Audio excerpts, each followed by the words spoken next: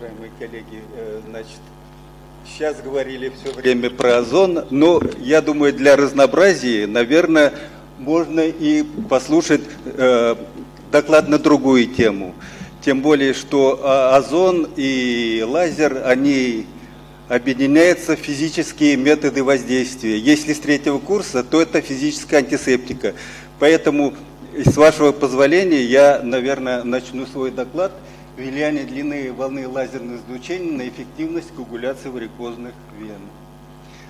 Какая проблема? Значит, э, в настоящее время, э, ну, если посмотреть лечение варикозной болезни, то традиционное это веноктомия. Всякие методы э, есть, щадящие методы, метод Бебкока и так далее. Но сейчас все переходят на практически новый метод лечения варикозной болезни – это эндовазальная коагуляция вен. Это э, такой щадящий метод, косметический, быстро больные восстанавливаются, но есть проблемы. Проблемы какие? Как и в других методах лечения, бывают осложнения. И вот э, сейчас э, стоит э, вопрос, как уменьшить эти количество осложнений. А с чем связаны осложнения? Осложнения – это, во-первых, кровоизлияние – во-вторых, это э, нарушение нервной проводимости, э, повреждение э, подкожных вен, ну и, и, и бывают кожные ожоги. И как нивелировать вот эти осложнения, как раз мой и доклад посвящен. Это вот диссертационная работа, но, к сожалению, аспиранты, они бывают больше заняты, чем их руководители, поэтому я на этом докладываю, на этом форуме как и, наверное, Сергей Владимирович, то же самое. Но а, если а, вникнуть более подробно, то а, по механизму действия лазеры сейчас делят условно на гемоглобиновые с длиной волны 600-800 нанометров и водные с длиной волны от 1000 до 200 нанометров.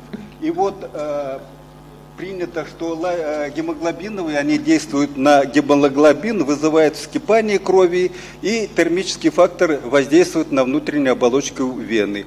А, а значит, водный э, лазер, он э, действует на стенку вены. Почему? Потому что стенка вены в основном содержит воду, и непосредственно на стенку вены действует лазерное облучение.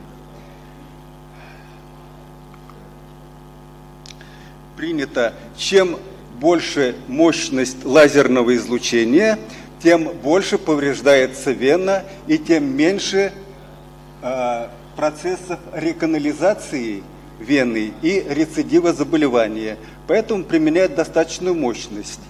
Вот, например, при э, длине волны 810 нанометров применяют 15 ватт. Но здесь есть обратная сторона. Большая мощность когда вводит световод в вену, то э, световод контактирует со стенкой вены и вызывает перфорацию стенки вены. Вот э, макропрепараты. Э, я луч хочу направить. По центру, кнопочка в центре. В центре кнопочка. Ага, вот это вот, наверное, будет. Все, спасибо. Вот перфорация стенки вены, вот макропрепарат вены, вот перфорация стенки вены. и вот перфорации. И э, вот, э, значит, клинические проявления э, этой коагуляции. Имеется кровоизлияние, тромбоз по ходу вен, ну и вот такие осложнения.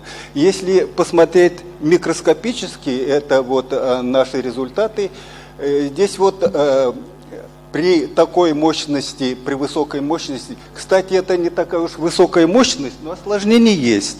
А, как правило, применяют еще большую мощность, 20-25 ватт. И вот э, микропрепарат, вот вена полностью разрушена, здесь нарушена дифференциация, мышечные оболочки, там продольные, поперечные мышцы, они разрушены, вакулизация. И вот в области контакта имеется перфорация вены. И здесь вот хорошо показано перфоративное отверстие, и вот через перфоративное отверстие выходит кровь подкожной клетчатки, возникает кровоизлияние. И поэтому наша задача, вот как предотвратить перфорацию вен. Первое, значит, это уменьшить мощность лазерного излучения. Это вариант э, как раз приемлемый. Второй момент – это увеличить скорость извлечения электрода. И увеличивая скорость извлечения электрода, мы не достигаем хорошего э, облитерации вены, хорошей внутренней коагуляции. Поэтому остается первый вариант для того, чтобы уменьшить эти осложнения. Цель работы – дать сравнительную оценку степени повреждения варикозных вен при лазерной коагуляции с использованием длины волны 810 и 1880 нанометр и минимальной мощности 2,8 Вт. Совсем очень низкая мощность лазерного излучения. Вот э, почему мы занялись этим вопросом? Потому что у нас есть э, в университете лаборатория оптической спектроскопии лазерных материалов, который э, занимается вот э, твердотелым, ну, обра... выработкой новых э, генерирующих излучения, новых лазерных источников, генерирующих излучений на длине волны 1885 нанометров с выходной мощности до 4,2 Вт. Вот эта длина волны, она новая, она не за рубежом, нигде не используется, только сейчас проходит экспериментальную обкатку. Поэтому вот э, у нас есть публикации и в России, и за рубежом, э, вот, лазером в медицине в Европейском журнале. Поэтому они заинтересовались, и сейчас вот э, мы попробуем связаться э, уже с те, которые изобретает лазерные аппараты, чтобы пустить уже найти клиническое применение вот этой новой длины волны. Вот эта установка экспериментальная, где проводили э, экспериментальные исследования э, эндовазальной лазерной коагуляции. Имеется э, сегмент вены, который мы брали во время операции, открытой операции веноктомии по БЭПКУКу. Этот кусочек вены мы забирали, помещали вот специальный такой стеклянный контейнер, и э, вот этот моторизованный столик ходил вверх-вниз, а здесь вот лазерный проводник. И лазерный проводник с определенной точной скоростью прожигал изнутри вену. Вот проведены стендовые эксперименты на сегментах варикозных вен, как я уже говорил, длиной 6 сантиметров, которые взяты во время веноктомии по методу Бэбкока. Вот э, вена, которые, вот, размеры вены, которые были использованы. Проведены две серии экспериментов. Первая серия, там, 6 экспериментов, длина волны 810 нанометров, скорость извлечения электрода из вены 0,8 мм в секунду и мощность 2,8 Вт. Во второй серии те же параметры, но другая длина волны. Результаты. В первой серии после воздействия на стенку лазерным излучением вена э, вот до излучения, вена после излучения. Единственное, что вена стала на цвет более тусклая и немножко вена уменьшилась в диаметре. Микроскопически э, сохраняется просвет вены, имеется внутреннее разрушение внутренней оболочки, но эти изменения вот мышечная оболочка, она сохранена. Эти изменения минимальные, и здесь большая возможность реканализации и рецидива заболевания. Вторая серия. Длина волны 1885 нанометров. Те же параметры, но если посмотреть, вена до коагуляции, вена после коагуляции. Здесь имеется в области коагуляции вена меняет свой цвет, становится тусклой, уменьшение диаметра на 40%.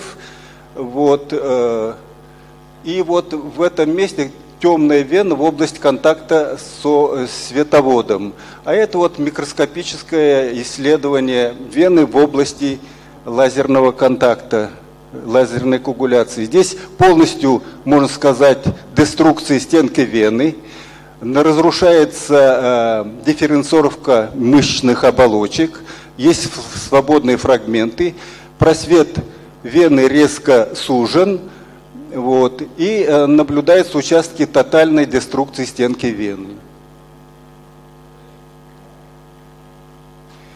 Вот это гистология, опять же, при э, длине волны 810. Здесь сохранен просвет вены.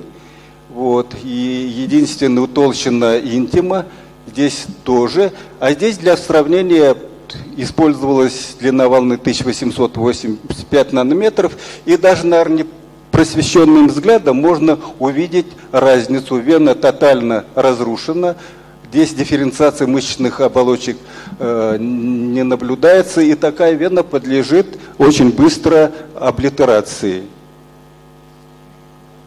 Ну и э, в обсуждении или заключении. В процессе лазерной коагуляции возникают две проблемы, которые надо решить.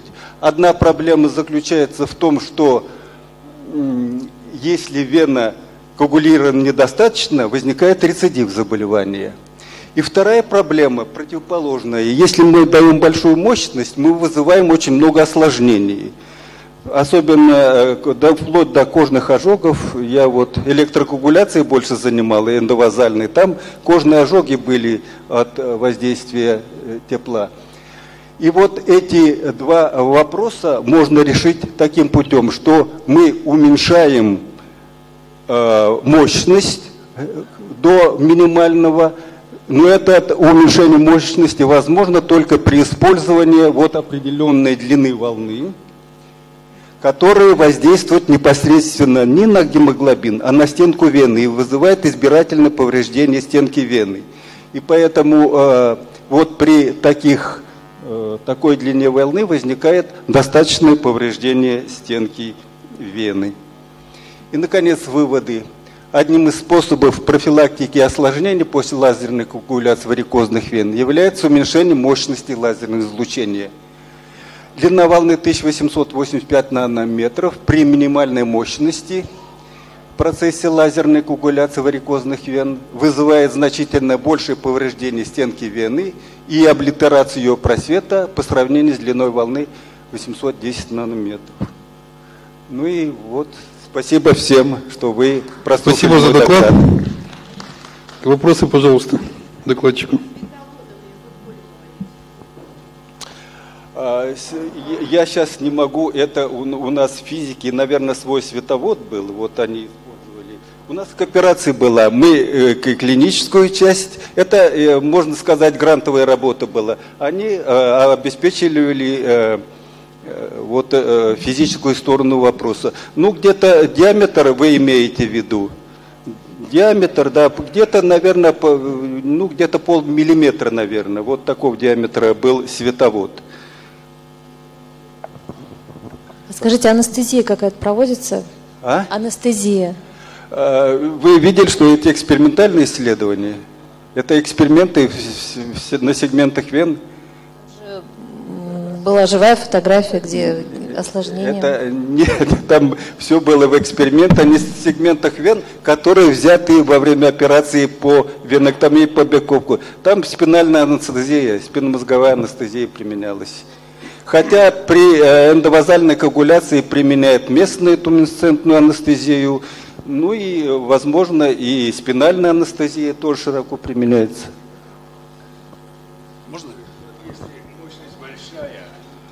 получаете перфорацию. Ну вы же и коагуляцию получаете. Откуда гематома? А как же во время коагуляции происходит перфорация стенки вены? Да, и, и я же... В принципе, э, просвет не сразу закрывается. Идет очень мощная лавина крови. Даже гистологически я показал, что в просвете коагуляции, то есть в просвете перфорации, там имеется тромб.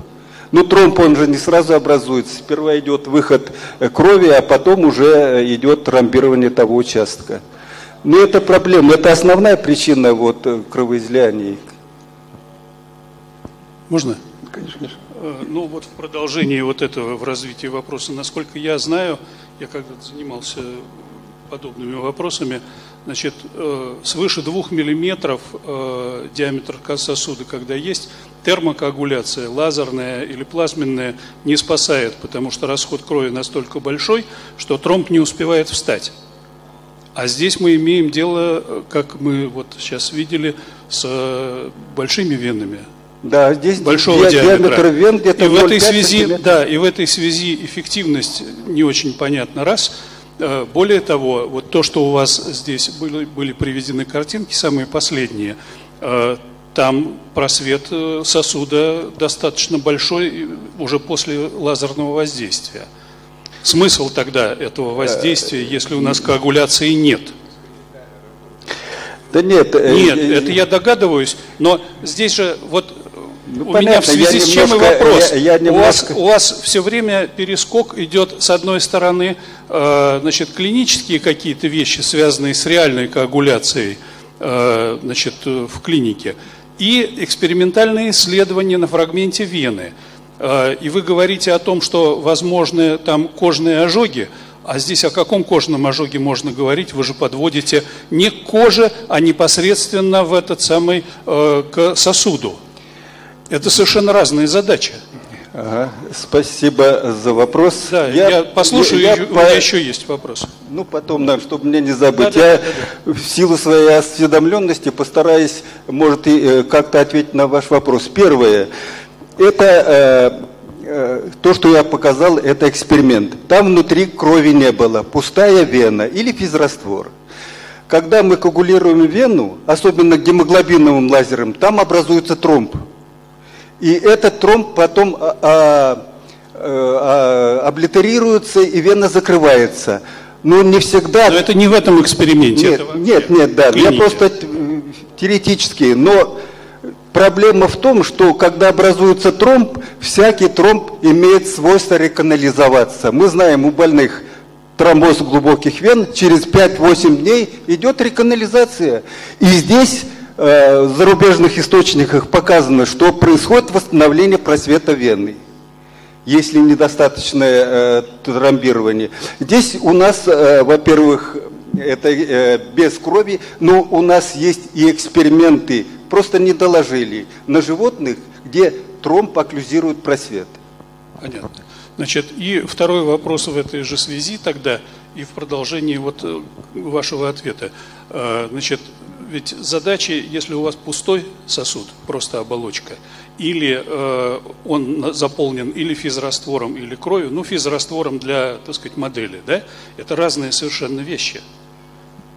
Абсолютно. И, и разные, и разные воздействия. И в этой связи у вас в самом начале, я вот себе пометил, было сказано, что значит, водные лазеры, как вы их назвали, я просто не слышал такой терминологии пока еще, такое деление лазеров на гемоглобиновые водные.